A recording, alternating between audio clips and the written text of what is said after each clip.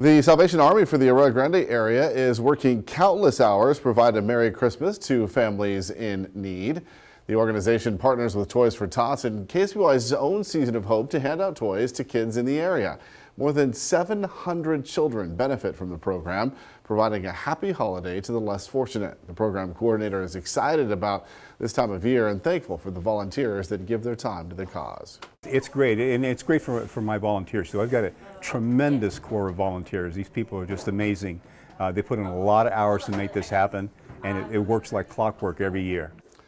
Other Salvation Army locations across the Central Coast will also distribute toys this season.